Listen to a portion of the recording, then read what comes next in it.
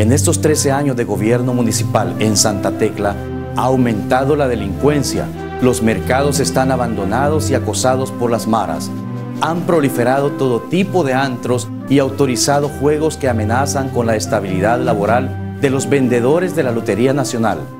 Ese hombre no es la esperanza, es el fracaso. Esto no puede seguir así.